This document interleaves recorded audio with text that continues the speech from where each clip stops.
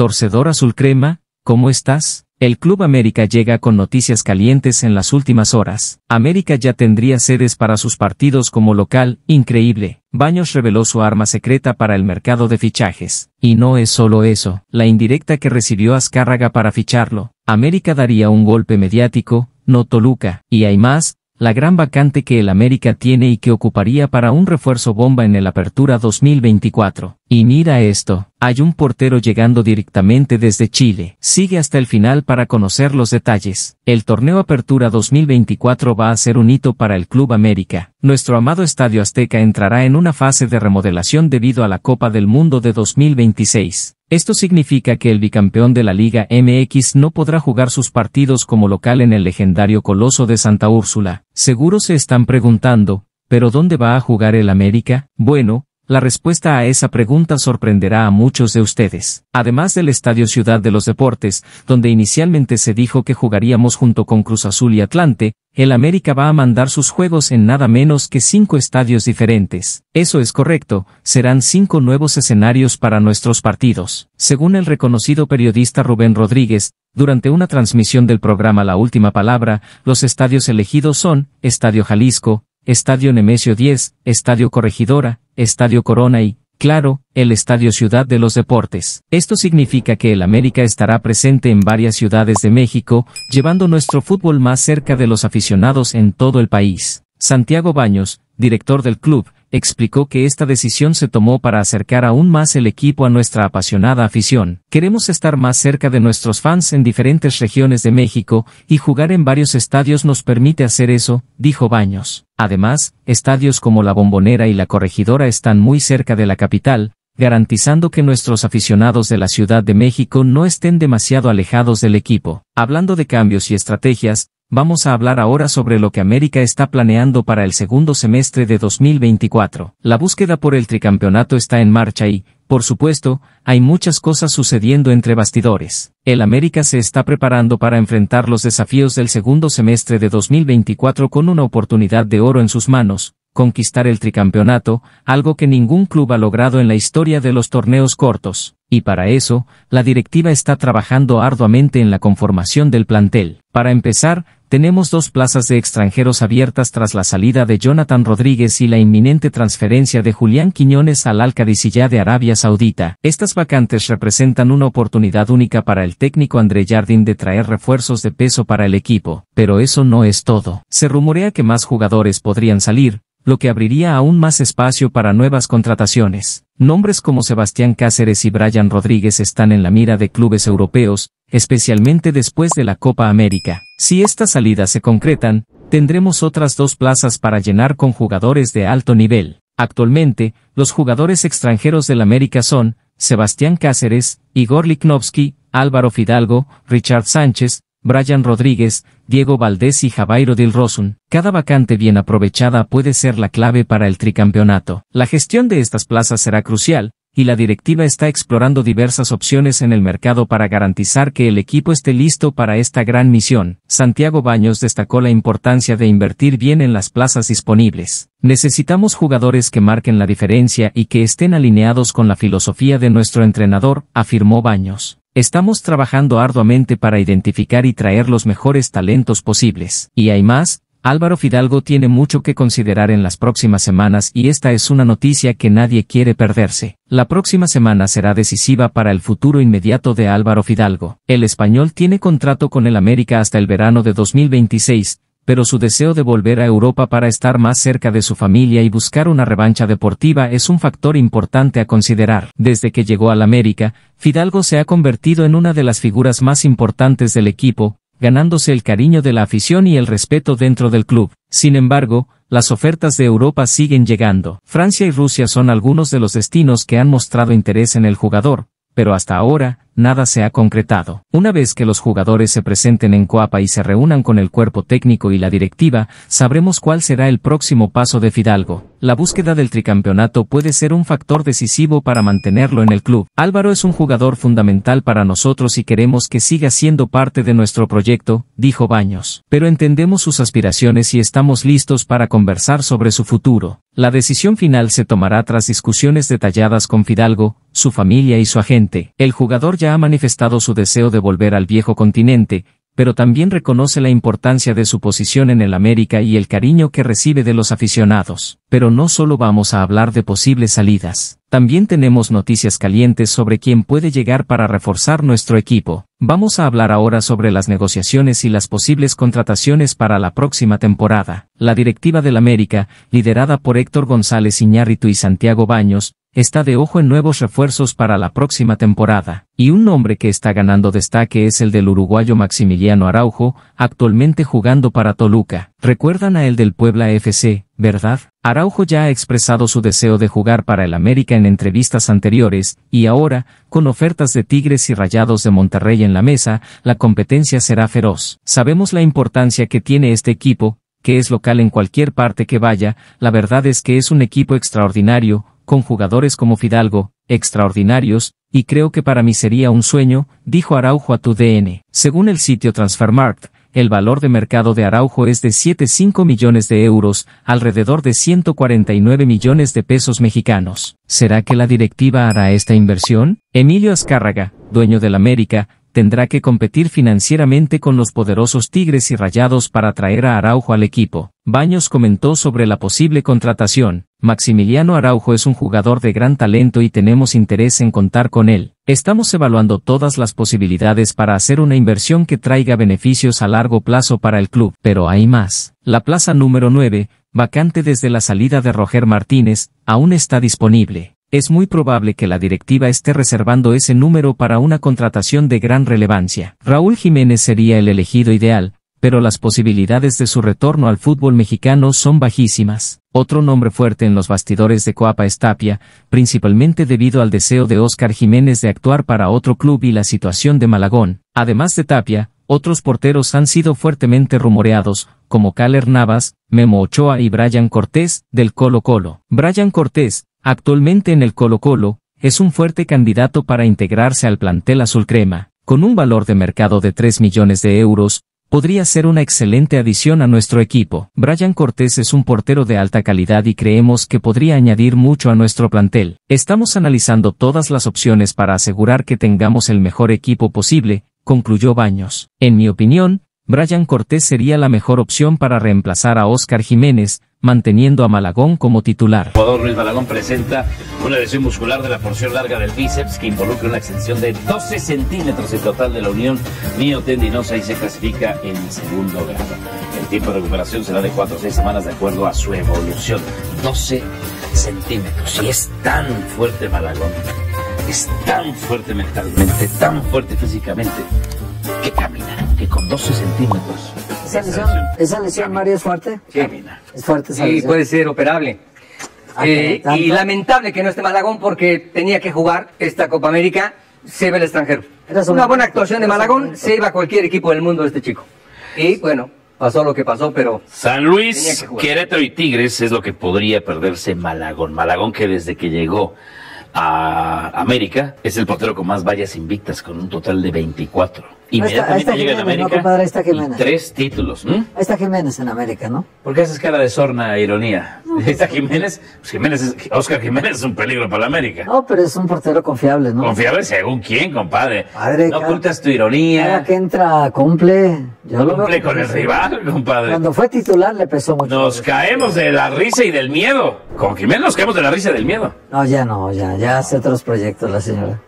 No sé de qué estás hablando, compadre. ¿Qué sé? Yo sí, compadre. No sé de qué estás hablando. también. No tengo ni idea. yo sé, y tú Tú también. sabes. No tengo ni Bueno, idea. ¿Qué señora? La señora que, ¿Qué señora te refieres? que tendría que ver en esto, ¿no? ¿En qué? En esto que estamos platicando. Que sí entiende. Habla mi Sí, hermano.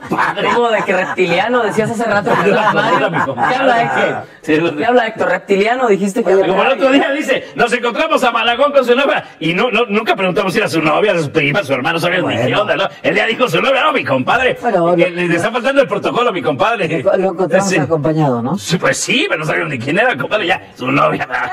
Bueno, creo A que ver, sí era. ¿Pretextos ya del América, hermano? Te escucho ahí como que San Luis, Tigres. No, a ver, eh, América es tan poderoso que incluso con Oscar Jiménez le va a ganar al San Luis, le va a ganar a Querétaro y sumará su décimo tercer partido. ¿Nueve de nueve? Sin perder. Nueve de Nueve de nueve. nueve. Se Esa es la obligación. su- sí sabes Esa que, es la obligación. sí sabes que América tiene 12 partidos sin perder contra Tigres. Sí, 12. incluido, Doce. ya lo hemos hablado muchas Doce. veces, el manotacito de Fulgencio Quiñones que cambió la final, pero está bien, tú sigues. ¿Manotacito? Sí, claro. La faltota. Claro, le puso la mano en la A cara. Rator se pasó fácil, pasó Claro. rápido. Un rato, ¿no? Era Rator- era Ratorse de Ahí va a rato, un quedar rato. siempre. Rato- Ahí va a quedar Ajá. siempre. El árbitro tuvo Malagón ha sido el más valioso del América hace un año, ¿eh?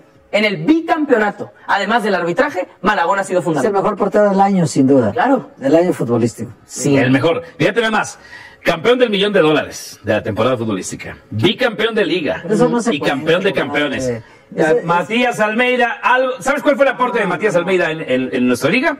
Enseñó a presumir Dale valor a los lo títulos. que no te- claro, porque ¿qué iba a presumir Matías Almeida el título? ¿Qué no se cuenta, dice? El del millón de dólares, el triplete. No, no, ¿cuál millón? Ese se lo regala a la federación y Mikel Arreola sus inventos locos que tiene en la ¿Por cabeza. invento loco? Está bueno. pero- invento loco, ¿cómo ¿por vas a dar millón de dólares a alguien Pero no con los dijo que ganó ¿Por qué en no? Champions Cup. No, Champions Cup y es el entre el campeón de campeón, del MLS ahí sí, ahí sí, de mi compadre. Ese vale. Tú, siempre, sí. tú siempre que hables, Siboldi tiene algo con Huerta. Amistad, Es relación. problema de él, no sé. es un problema Eh, de él. sí. Pero digo, ahí sí le reconoce Sí. eh, el, ¿cómo se- el Champions Cup. No, y Almeida que le reconoce partido. la Champions Copa Cup, contra que Morelia. C, contra que no es- Monterrey B. Es que ¿eh? yo reconozco es que es, es, es realidad. Ah, bueno, pues también realidad. Es una realidad no, que le dieron un millón de pero dólares. También que realidad ganó. yo, ¿no? O sea, ¿qué no es realidad? Esas que te lo dan en el escritorio. ¿Qué no. tiene? O sea, es que, ¿más puntos de qué? Pues más puntos en el año, ¿qué no entiendes o qué? O sea, ¿y qué tiene de mérito eso más hacer más puntos? Pues que le dan un Si premio no de un millón de dólares. ser- ser- No tiene ningún mérito. Ser super líder no Ajá. vale nada. ¿Qué vale? Bueno, se Eso fue un millón de dólares. Llegas a la Un liguilla. millón de dólares. Un millón de dólares. No, fue el caso de América. Y cerrar en casa la final. Ajá. A mí cuando me dicen, ¿de qué vale ser superior? Cierras en casa, güey. Tú para acá tienes con todos los técnicos, no prefiero salir en casa. El 2-0, la otra de las grandes mentiras del periodismo eh, futbolero. El 2-0 es el marcador más engañoso. Es prácticamente irremotable, 70% que no remontas un 2%. De acuerdo con eso. Ok, entonces Malagón llega, gana el premio del millón de dólares. Y el triplete. Pero no se lo cuentes ese, hermano. ¿Por qué no se lo vamos a contar O si sea, cuenta? ¿Por no- qué no? Si fue el portero que contribuyó a que América es hiciera más puntos en el año es futbolístico. verdad, pero di ¿Qué eso. gana eso? Di millón de eso, dólares. Di eso, di Ajá. eso. No quieras ponerle otra estrella Ahora, porque se ganaron un millón de dólares. Porque, por ejemplo, el campeón de ya no lo tienes que disputar. Super- ahora y así lo van a disputar. No, no va a disputar campeón de campeones. Pues van a jugar Tigres Supercopa contra MX. América. Supercopa MX. Por eso. Igual pasó con Atlas y Cruz Azul. Supercopa no existe, Supercopa MX no Sí existe, historia, compadre, ¿ya se jugó? Se ha jugado dos veces. que ¿Tu amigo, tu amigo Siboldi la jugó? No, la jugó el Atlas primero. Ajá. Por ¿Por, ser qué? bicampeón. Él ganó campeón de campeones. Claro, no tenía por qué jugar nada si ya está el trofeo entregado. campeón Entonces se de juega, la- se- porque la fecha ya está establecida, el No, estadio no, no, Supercopa porque ya hay negocio El negocio es dinero, los Unidos. Sí, dólares, ¿Y, los y- dólares. y qué quieres? ¿Que el fútbol sea amateur, compadre? No, no, no, no. O sea, el no, de pero- fútbol es de negocios. Perdón, Estados Unidos no podemos jugar este partido porque ya no, no hay necesidad, ya fue campeón en la América. No, dice Estados Unidos, perdón, aquí tengo la fecha apartada, tenemos un contrato, se juega Supercopa Ya Le MX. inventamos otro nombre. Sí, ¿qué tiene? Ah, bueno, está bien. ¿Cuál es el problema, compadre? Pero ese ya, el América. También se inventó así el Champions Cup que tanto O defiendes. sea, si gana Tigres ahora, ¿quién es el campeón de campeones? ¿El América o Tigres? No, América ya es campeón de campeones. Si gana Tigres, Tigres gana la Supercopa MX. Como la ganó no Cruz. Azul de Como la, como por- la recopa.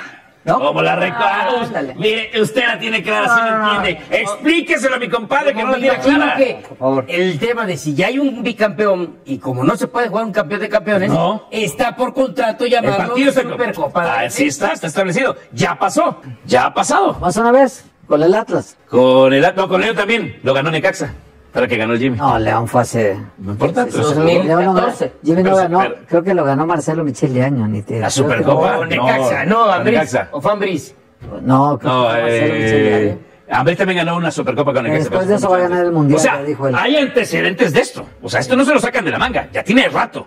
Si, el, si hay un Sí, sí, bicampeonato. desconocerlo. Pero eso no es O cada que lo gane Tigres o que lo gane No. América lo está desconociendo. es que- Tiene que haber un subcampeón. Ah, un bicampeón. Un bicampeón. Tiene que haber un El, bicampeón. bicam- el bicampeón de temporada, Exacto. no anual. El bicampeón ver, de ¿cuál fue el temporada bicampeón ya es campeón de campeones. ¿Cuál fue el bicampeón de Pumas? ¿Cómo que fue, fue Y bicampeón? cuando fue bicampeón Pumas, ¿quién fue el campeón de campeones? Pumas. O este de Supercopa. Pumas. ¿Y Supercopa quién? Nosotros fuimos campeón de ¿Cómo campeones. América le ganó? Ah, no. Ah, Y luego- América, dice mal. No, América le ganó y porque Carrillo le ganó. Luego mira, Pumas, fíjate. Mira Carrillo, aquí está Carrillo. No, Carrillo. ¿ya ves? Pumas, de ahí nosotros. va, vas ¿Ya a mi favor, compadre, ya me acordé. Ahí está, ya me acordé. Bicampeón. Pumas. En la Supercopa MX la jugaron contra Pachuca. No, y Pumas golea. no, no, ese fue el, otro campeón de campeones, pero de. Ese fue el de él. El no fue de bicampeón. nosotros. No, es que cuando fueron bicampeones ya no hay que Cuando. Pumas jugó bicampeón. No, pero es que, es que Pumas fue bicampeón no en un año calendario futbolístico. Exacto. Fue un año, Los en un año calendario. Pues el de ya León. se hizo uno contra Pachuca. El de León. Le- León contra Lecaxa. El de León, el sea, Atlas y el de América. ¿qué pasa contigo? León, no, Te veo muy distraído. No, no, no, soy Desde distraído. que desde que calentó el celular. Teléfono El otro día tú andas preguntando datos cuando él trae todos los datos ahí. Y dice, dame los Sí, datos. pero lo Anda que- muy distraído, mi compadre. Ahorita ya ensució toda la mesa. La tarea se hace en su casa. Lo que no les admito, lo que no les admito es que el del millón de dólares le den un valor. Porque tiene un valor de millón de dólares. Tiene precio, no tiene valor. Ah, qué grande. Pero ya no estábamos a cuadro, hermano. Al volver, ¿quién fue el mejor delantero del torneo? Venimos con más. Sí lo surtimos Buena 4 a 1. eh. televisión. Sangra. Es momento de elegir a los delanteros del 11 de este torneo, el Clausura 2024. Al elegir a Martín Anselmi como el mejor director técnico, inmediatamente se configuró para que eso tenga línea de 5. Mira, la defensa son Anselmi. todos los que dije, compadre. ¿Eh? Bueno, ya no los pude ver, pero los poner otra vez, no puedo mencionarlos. O sea, ah, va de nuevo, pónganlos de nuevo, nada más para mencionarlos. Hay que elegir dos delanteros. Ah, Hay que elegir dos delanteros. Ok, Malagón ganó la portería. Orozco Chiquete por democracia. Lignovsky y Piovi. Reyes, Dos Santos y Arteaga. Reyes, el del América, como carrilero. Bueno, porque fue línea de No, claro, es como es por izquierda y ahora lo ponemos por derecha, ¿no? Y, perdón, Ajá. ¿Qué, profesor? vamos a poner los dos delanteros. Vamos a hacer un ejercicio Sí, democrático. Democrático, vamos a hacer un ejercicio democrático, porque la democracia da muchas críticas, pero pues al final es un modo en el cual vamos a elegir nosotros por votación. Salomón Rondón, hermano, ¿no? Todo. Salomón Rondón, Para ¿tú mí es dices mi, es mi punta, es mi nueve. por qué? Me, me gusta mucho lo que hace en Pachuca, con los balones que tiene, es contundente, cobra penales, Sí. tiene pegada, tiene gol, delantero muy Es el completo. que hizo más goles del A mí me encanta, es campeón goleador, obviamente, compartido, pero es campeón No, goleador. pero en Liguilla hizo dos más para hacer diez. O sea, es el que hizo más goles en el A- para mí es mi nueve. Si Es tengo- tu nueve. Sí, más que ¿Quién Henry. más? ¿Elige a Salomón Rondón? No, Yo todos, también. todos, todos. Sí, ¿no? Fíjate nada más, es interesante, No, disculpen ustedes, No, no, no. tengo que contradecirlos un momento. Estoy revisando justamente contra quiénes anotó Salomón Rondón. Eso no importa, son Y claro que importa, eso es una descalificación de mi compadre que no resiste que le Son contraargumente. goles, compadre. No, compadre, pero hay que ver contra quiénes y en qué momento. No, no, no, pero- Ahí te va, compadre, ¿me permites? Sí, Permíteme, claro. gracias. Dale, por- dale, no, dale. Espero no te moleste que te contradiga. compadre, dale. Le anotó a Querétaro, le anotó a Juárez, le anotó a Necaxa, le anotó a Tijuana, le anotó al Atlas. Y equipos así de poder, solo le anotó a dos, a Tigres y a Cruz Azul. La suma de los goles de Rondón fue un abuso contra equipos chicos. Solamente tuvo un doblete. Antuna, que no es centro delantero, pero que es atacante, tuvo dos dobletes. Y Antuna, si yo le digo los equipos de Antuna, tremendo lo que hizo. Contra, ahí le va. Híjole, aquí está.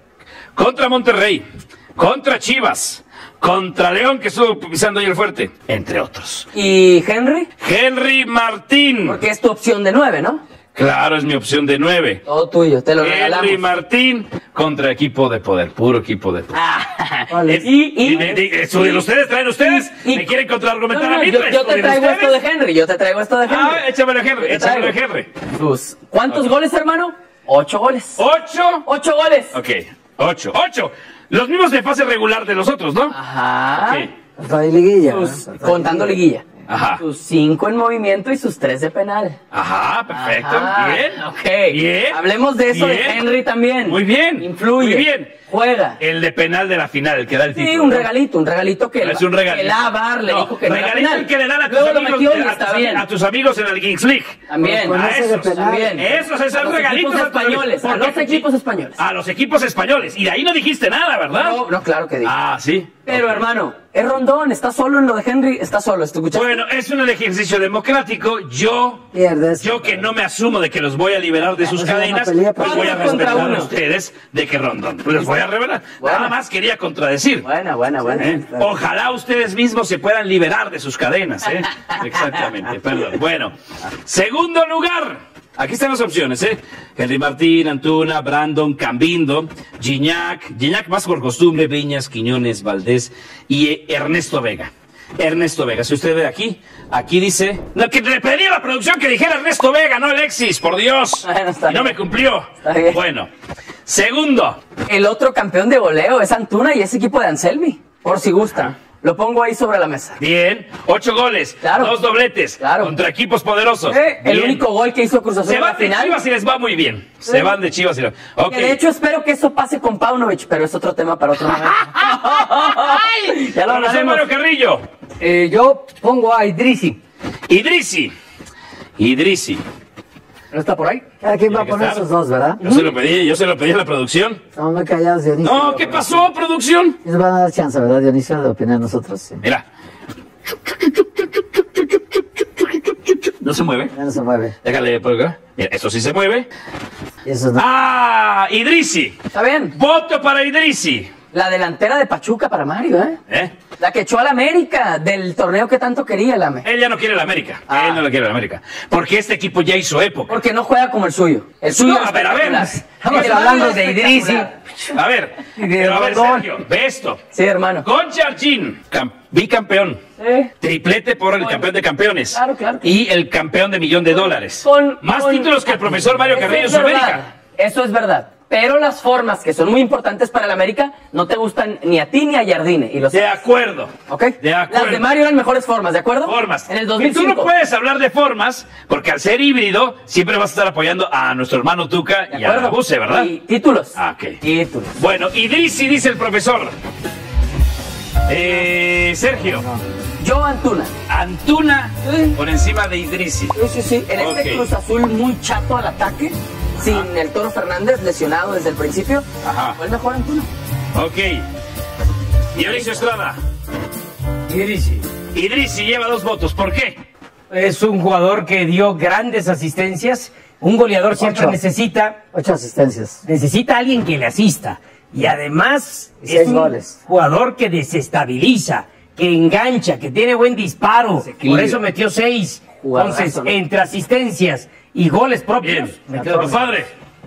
Yo creo que está Idrisi cantadísimo. Idrisi. Ocho asistencias, seis goles, 14 intervenciones en gol directas. Henry Martín metió cuatro penaltis de los ocho, cuatro en jugada. ¿El título? Falló un penalti contra el Atlas. eh, cuando le ganó 5-1 falló un penalti. Cuando ganó 5-1. Y ganó 5-1 pero falló un penalti. Sí, sí, sí. Y entonces Idrisi y Salomón Rondón para mí. Ok. Señores, ¿Tú, hermano? la democracia. Henry. Yo, Pues ya. yo hubiera puesto. Aunque ya haya perdido, Para Henry. mí, ah, ¿yo qué hubiera puesto? Ok. Yo hubiera puesto a Don Henry. Y a Quiñones. Y no, no, Es- es- es- no, hubiera puesto a Antuna. Antuna se lo merece. Henry. O incluso, fíjate esta, mi segunda opción. Alexis Vega. El Ernesto. Ernesto, Vega. El dúo tamarindo. Eh, el sí, sí. dúo tamarindo. Eh, sí, sí. Bueno, ¿cómo quedó la alineación? ¿Ya la tiene la preparada? pasaron bien en Guadalajara estos dos, Bueno. ¿no? Uy. Juntos. Así entonces. ¿Y ustedes, aficionados, qué opinan? Dejen sus opiniones en los comentarios. Vuelvo pronto con más noticias calientes. Hasta la próxima,